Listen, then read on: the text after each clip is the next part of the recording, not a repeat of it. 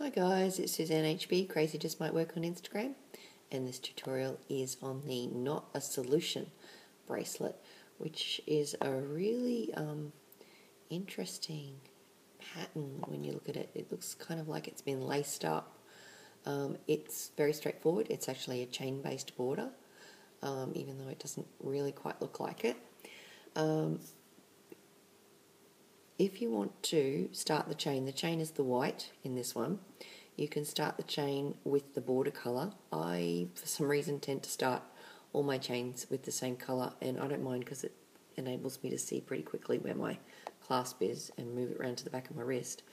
Um, but yeah, that's something that you may want to do if you like a more consistent look, is to start the first cap band with um, the border colour that you're planning on using. In this case, it's the black. Um, so it's not terribly difficult, it's just a little tricky uh, working out what you're picking up. So what I've done is I've actually done my chain to start with. And you really need to know the look of a chain. I know that sounds a bit weird, but when you're holding the chain with the cap band facing open, or looking like a zero, like so, you'll notice that from this direction, you have an opening at the bottom of each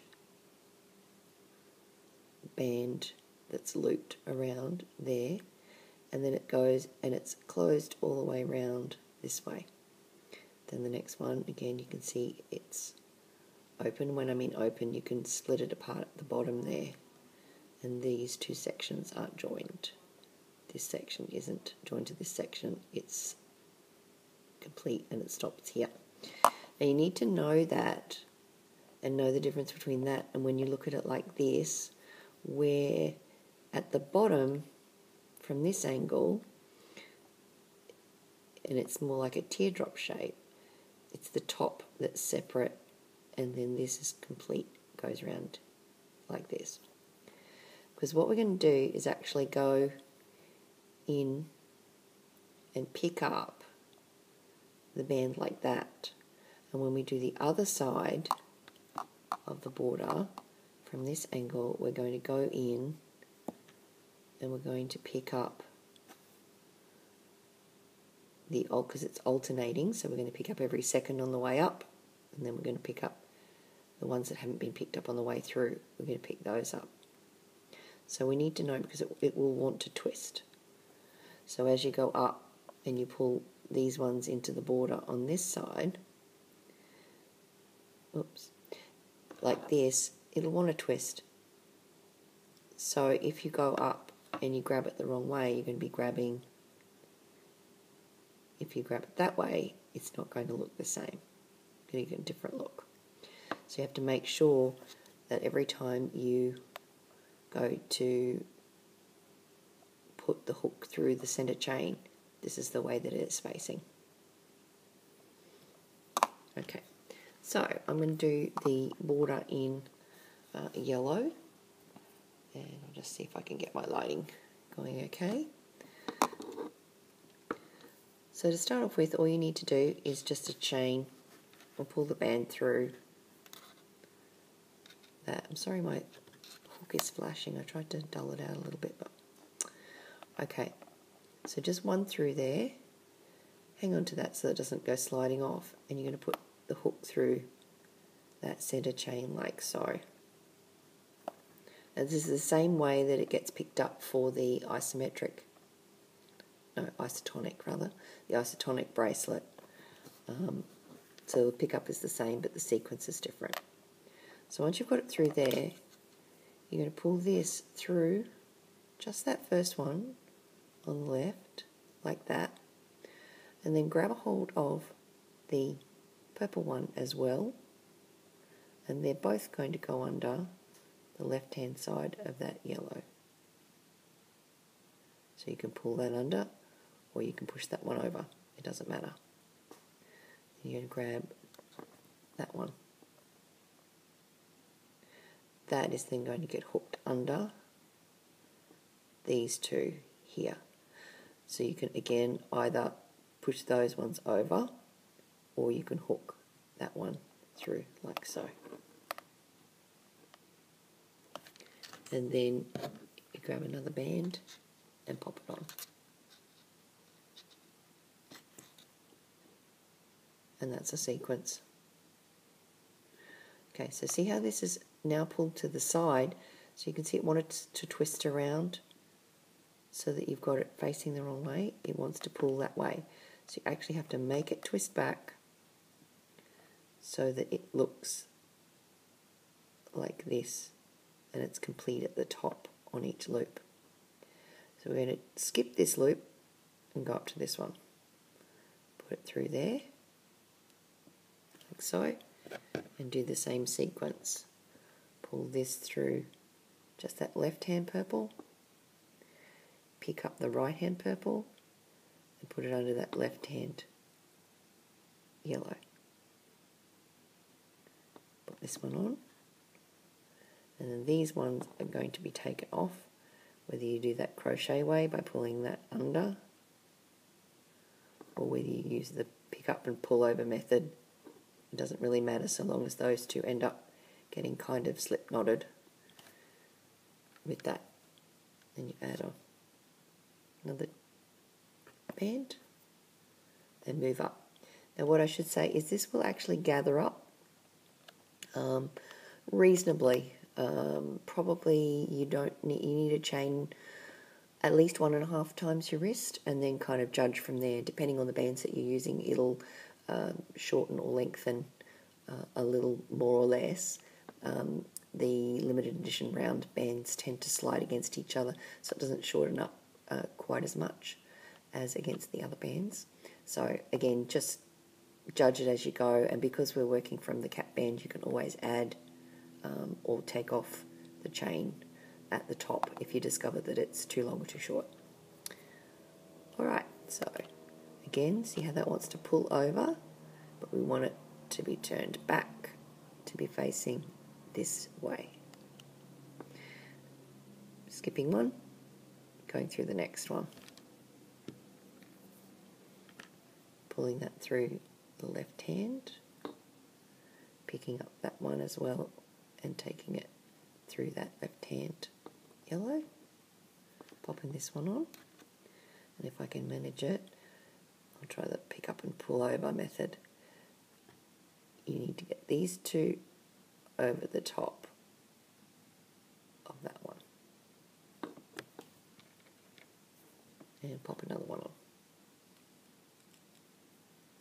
So as you'll see, it does make quite a distinct curve wants to pull it round, it'll actually end up, uh, if I unhook this, it'll go into like a beautiful spiral uh, curve, but when it's uh, hooked together at the end, it just, it sits, it's one of those bands that just sits the way you want it to sit and doesn't really go anywhere. It's really, sits really nicely. Okay, so on to the next one. We go up, skipping one, and again, you're going to have to pull that back over towards your left and go up through, put it through that band, pull through a band through that first one on the left, pick up the second one. So you've got two bands being hooked under that left hand side of this yellow loop. Hook that on and make sure that left hand one goes under those two middle ones, like so. So that's the whole sequence. I'll keep going until the end of this short piece.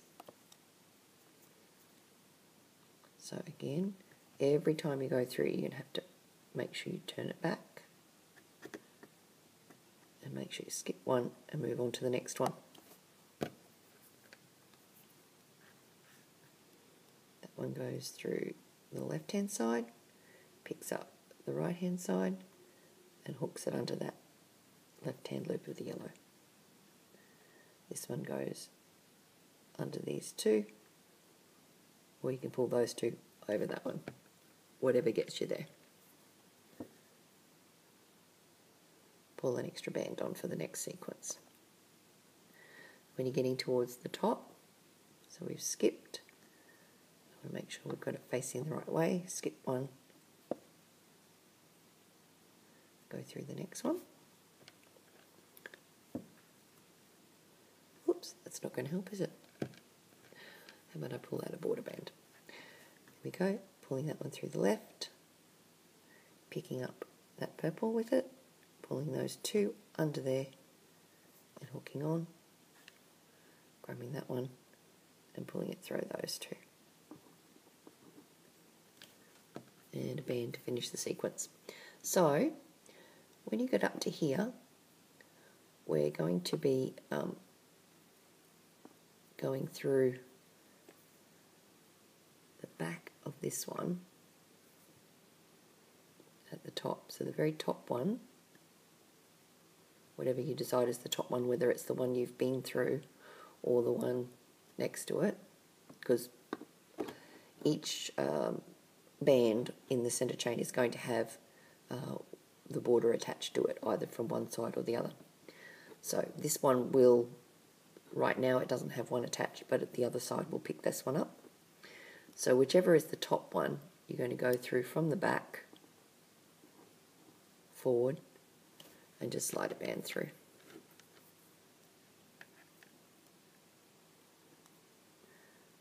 Like so.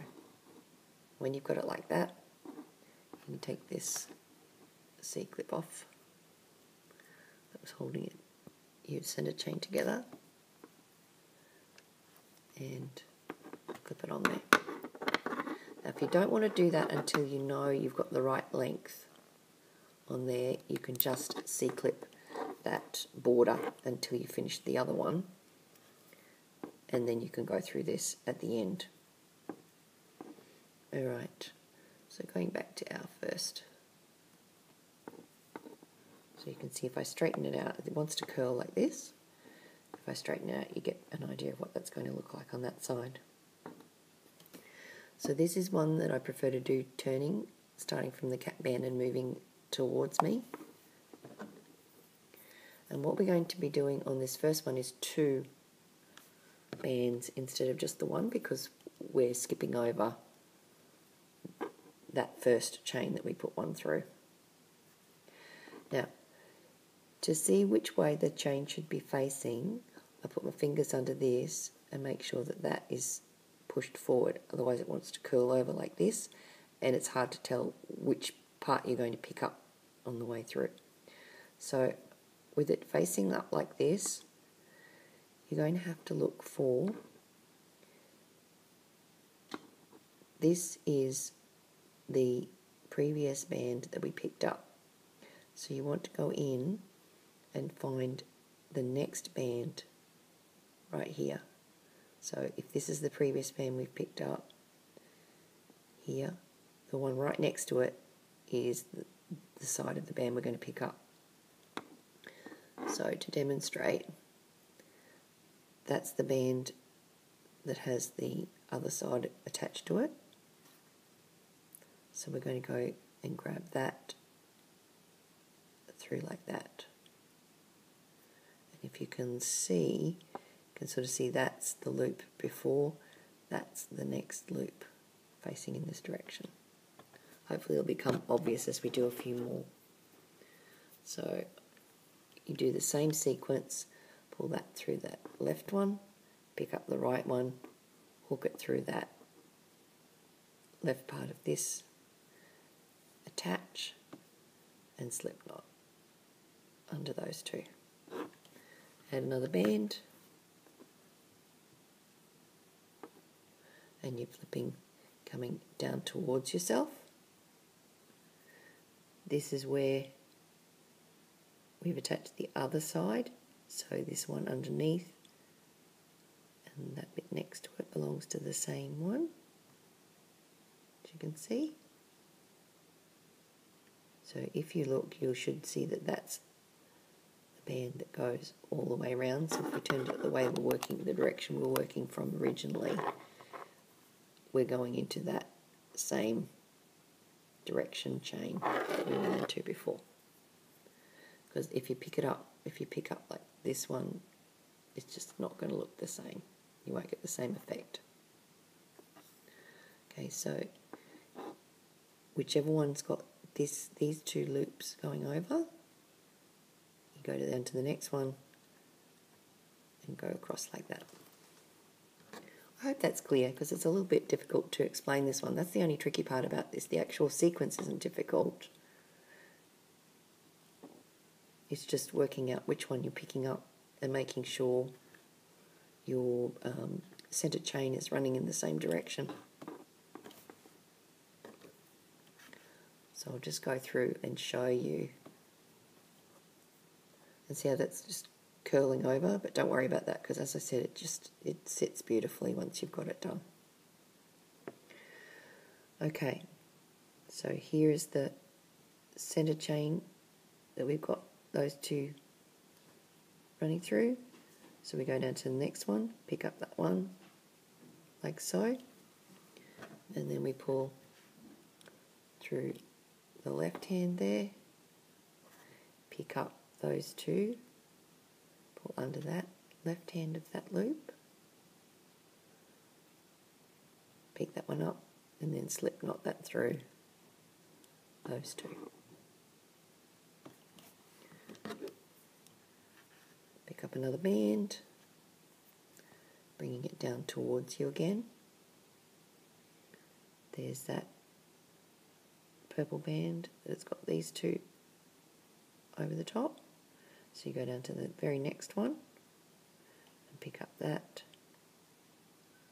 like so. Really hope you can see this. Pulling it through, picking it up and pulling it through, popping that one on. That's a wonky band. And slip knotting that through. Those two grabbing another band, pulling it through. Oh, it, it does, let's see how curly it is. It's really funny. It's really curly. But like I said, it just, oh, it just sits beautifully. I'm, I'm a bit in love with this design. Okay, so we're going to have just a couple more to go to get to the end of this piece. There's that one that's running through. So you pick up the next one down and that one that's hiding, which is the other side of that loop. Same band, same loop. Pulling another band through, picking up that one, pulling both of those under, grabbing that one and slip knotting those under. Picking up another band, like so, dipping it towards yourself. And then the next one should be, I think, the top one. Okay, so this is going to go through the top one. Because you can see that's the band that has these two running through it. So this is the next one. Go through like that. You can kind of see how that's the next loop in the chain. Same as when we're working up the other way. So you do a sequence on here, pulling through.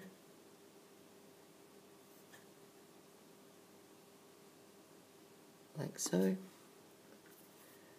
And pulling another band through.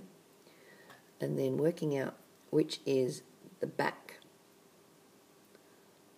of this band.